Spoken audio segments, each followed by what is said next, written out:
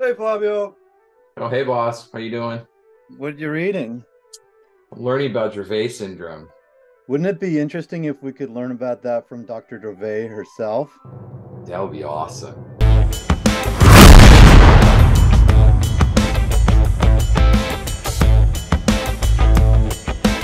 Oh, there you go. Okay. Hi. Thank Great you, to Dr. see Dravet. you. Do you want to know how uh, I uh, discovered this uh, epilepsy Dravet syndrome? Yes. I want to know So, everything. as you can see on the screen, it is a long history. huh? Yeah. Very long. Okay. Tell us the story. So Okay. there was in Marseille a small center dir- directed by Professor Gastaut Mhm. for the study of uh, epilepsies in children. Hmm. So there are many children who live uh, with uh, educators in this center, and there was a laboratory of EEG. There are there were also um, neuroimaging, but at this time imaging was very very uh, poor Uh-huh.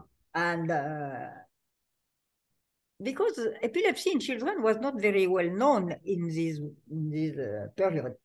Mhm. So the children uh, went to the center for to have a, a diagnosis and also a treatment, Mhm. and they lived in this center uh, under the direction of educators in small groups. Mhm.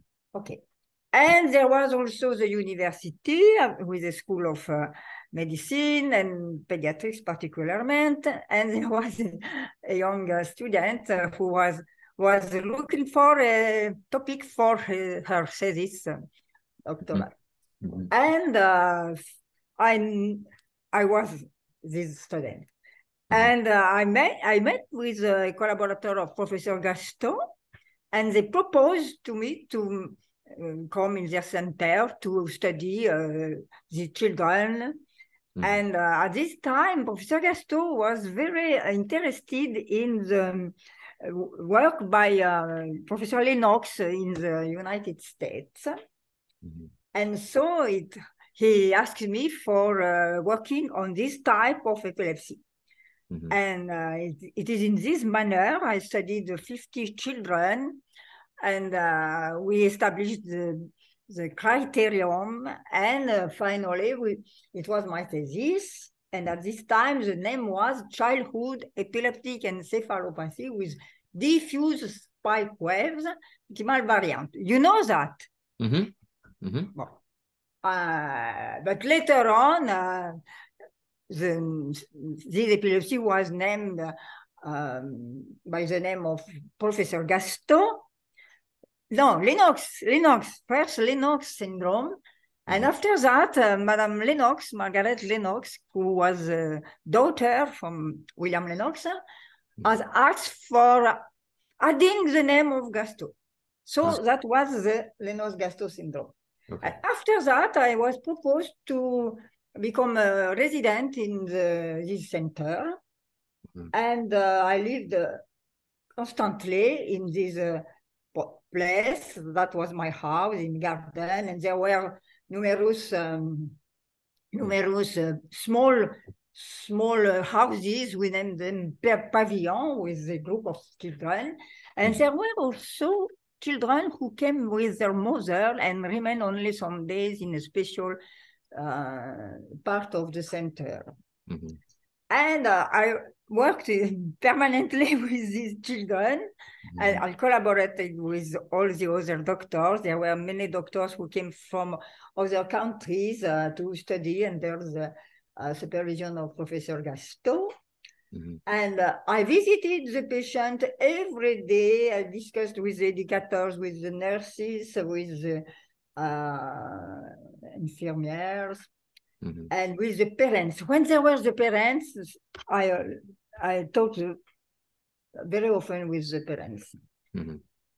And also I participated in the in the recordings of EEG, day and Mhm. And uh, with my collaborator, we have uh, uh, knowledge of different types of epilepsies.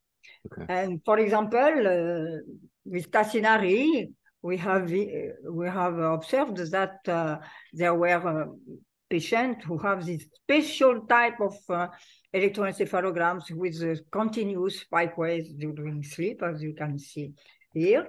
Mm-hmm. And uh, after that, we also see that uh, many children who were uh, sent to the center with suspected diagnosis of Lennox-Gastaut syndrome in reality, they did, not have the symptoms, the signs of the hist and the history of the Lennox-Gastaut syndrome. It, they were completely different uh, because they have, they have the onset in the first year of life, fever sensitivity, generalized clonic status epilepticus, which does not exist in uh, Lennox-Gastaut syndrome, mm -hmm. myoclonic seizures, and no etiology was known. Mm -hmm. Often they were photosensitive with self-stimulation, etc.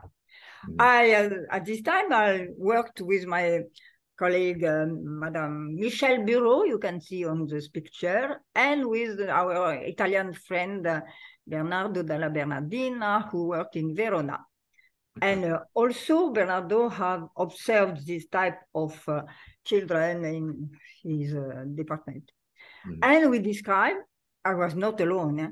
we describe the epilepsy myoclonic grave du nourrisson in French in 1978, and it was published in a very small journal, medical journal mm -hmm. for general practitioners in France. Mm -hmm. But after that, we continued to work, and we have presented a group of uh, children with this type of symptomatology in the International Congress in Kyoto in 1981. And we, ha- we had at this time 40 children, 42 children in St. Paul. Mm-hmm. And uh, this uh, paper has been published in the Advances in Epileptology. Yeah. And uh, it was the first international uh, communication about this, uh, this type of epilepsy. Mm-hmm.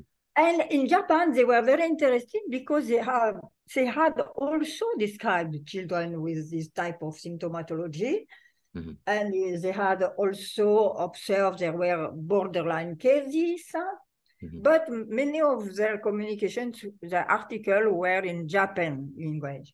Mm-hmm. So it was difficult to diffuse this knowledge. Mm-hmm. And uh, finally, it was a syndrome, the SMEI, mm-hmm. among other syndromes with intractable epilepsy, cognitive deficit, but often known probably genetic etiology because we didn't find any other uh, reason for that. Mm-hmm. And we arrived to the second chapter in Australia. You mm-hmm. know Ingrid Scheffer and uh, Samuel Berkovic. And they analyzed very large families with many types of epilepsies. And uh, these seizures were provoked by uh, fever. And so they named that uh, the febrile epilepsy with febrile seizures plus. And they thought at this time all the types of epilepsies were generalized. So generalized epilepsy, just plus. Mm-hmm. And uh, they, they had the hope that he, he could they could find a, a mutation because uh, it was a genetic uh, symptom. Mm-hmm. But uh, not known. And effectively, sometime uh, after, this mutation on, of SCN1A gene was discovered by uh, another uh, team. So mm. they were happy. Mm. And the third uh, chapter is in Belgium, because in Belgium, they had also this type of patients, and they observed that uh, in this syndrome, severe myoclonic epilepsy of infancy, there was a role, important role of the change in temperature of fever. So hmm. they had the idea to search the, the same mutation in uh, these children. Mm. And fortunately, they discovered this mutation in all in all the seven patients they have studied for that. It was confirmed, it was genetic, and uh, usually uh, related to this type of uh, SCN1A mutation. But, but, but, not all the patients carried this type of mutation. Mhm. So there were uh, many researches after that, an explosion of research, because also the molecular genetics was progressing very quickly. Mhm. And uh, an animal model was uh, created, particularly in Seattle by Dr. Mhm. Catterall. Mhm. And uh, finally, why it was no more named severe myoclonic epilepsy in infancy? Mhm. Because after the first description, there were many, uh, not, not many, but there were also patients who didn't have myoclonic seizure, the same symptomatology except the myoclonic seizures. Mhm. So it was not uh, reasonable to maintain the type, the name of myoclonic. And with uh, evolution, we observed also that these epilepsy didn't uh, disappear, they continued at the adult age. And so it was difficult to, to say for an adult patient, it was an epilepsy of infancy. Mhm. And uh, but the commission, the, the commission for the nomenclature, didn't find uh, Euh, word term to describe this epilepsy, so they decided to name that uh, uh by my name. So that mm. was in 2001. Thank you.